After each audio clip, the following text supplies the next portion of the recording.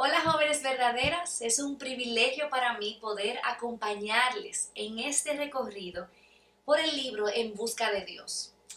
Y la verdad es que estos temas son temas difíciles, temas que demandan de nosotras una respuesta. Estamos acostumbradas muy probablemente a recibir mensajes positivos, eh, a que se nos diga que estamos en victoria, que tenemos que avanzar, que lo mejor está por venir.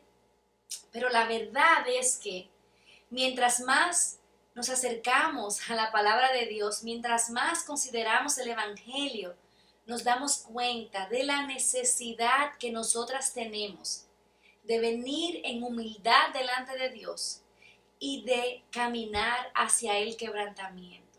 Estos temas, este libro no es un libro que podemos leer simplemente para adquirir más conocimientos, sino que es un libro que demanda de, demanda de nosotras una respuesta. Y es un libro difícil, pero yo te animo a que continúes.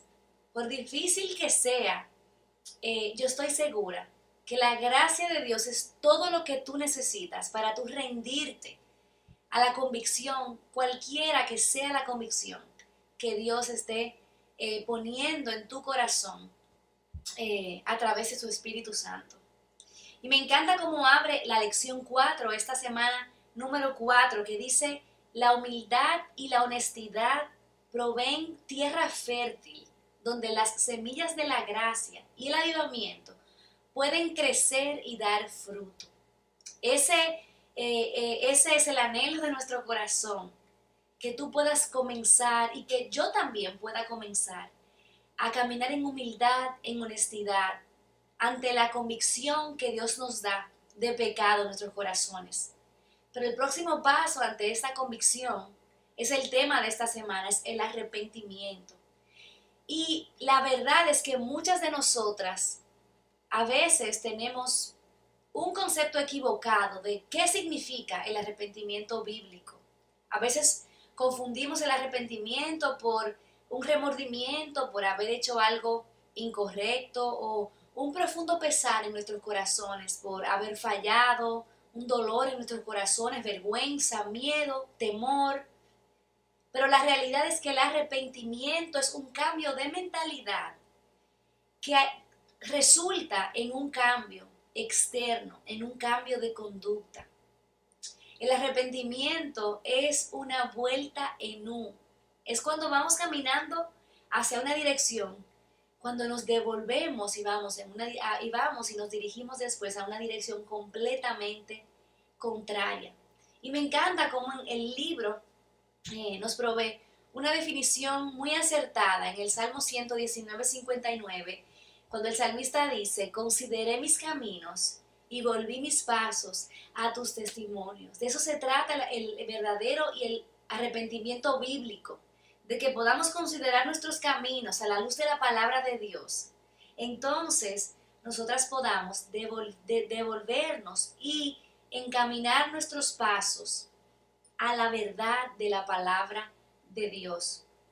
Y esta frase de Spurgeon me encantó, dice, el arrepentimiento es dejar el pecado que amábamos antes y mostrar que estamos seriamente afligidas de no, no volviendo a Él nunca más.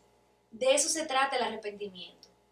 Y yo quiero animarte hoy que si tú amas tu pecado más de lo que tú amas a Dios, que tú le pidas al Señor que te dé un arrepentimiento genuino, al punto que tú puedas odiar, detestar, aborrecer tu pecado y abandonarte en los brazos del Señor. El arrepentimiento no puede considerarse genuino si no hay una prueba externa que lo valide.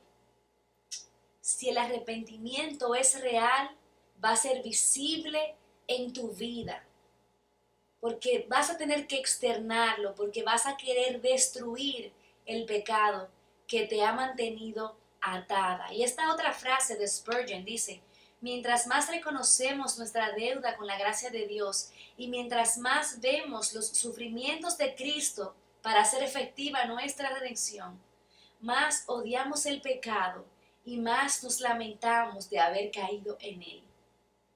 Al final de cuentas, nuestra falta de arrepentimiento es, una, es un pobre entendimiento del Evangelio, es un pobre entendimiento de la obra de Cristo a nuestro favor, es, es, una, es un pobre entendimiento del el costo para Cristo de nuestros pecados. Nosotras necesitamos contemplar esa obra que Jesús hizo por nosotras. Cuando aún estábamos muertas en nuestros delitos y pecados, Él nos dio vida. Entonces, hasta que nosotras no entendemos, no entendamos la magnitud del Evangelio que profesamos creer, no vamos a arrepentirnos lo suficiente como para nosotras odiar nuestro pecado. Cuando nos convertimos a Cristo, nos arrepentimos de nuestros pecados. Pero eso no es suficiente. El arrepentimiento no se termina ahí. Nosotras necesitamos continuar arrepintiéndonos de nuestros pecados día a día. Si verdaderamente eres una hija de Dios, ya Cristo pagó todo el precio de nuestros pecados. Ya nosotras no tenemos, ya no hay condenación para ti. Pero cada día nosotras tenemos que crecer en la gracia, ser santificadas a través de la obra del Espíritu Santo en nosotras. Y eso va a resultar en que nosotras vamos a odiar el pecado y vamos a mortificar el pecado, a darle muerte al pecado todos los días de nuestra vida. Ya no para salvación, porque nuestra salvación está asegurada en Cristo, pero para nuestro crecimiento espiritual, para nuestro avance en nuestra relación con el Señor. Es mi oración que cualquiera que sea la convicción que Dios esté dando a tu corazón en este momento, que tú puedas encontrar en Cristo la gracia suficiente para arrepentirte de tu pecado, para rendirte y para dar una vuelta en U. Recuerda, hay más gracia en Cristo que pecado en ti. Arrepiéntete hoy y vuélvete de ese mal camino por el que estás andando y conforma tus pasos a la verdad de la palabra de Dios. Dios te bendiga.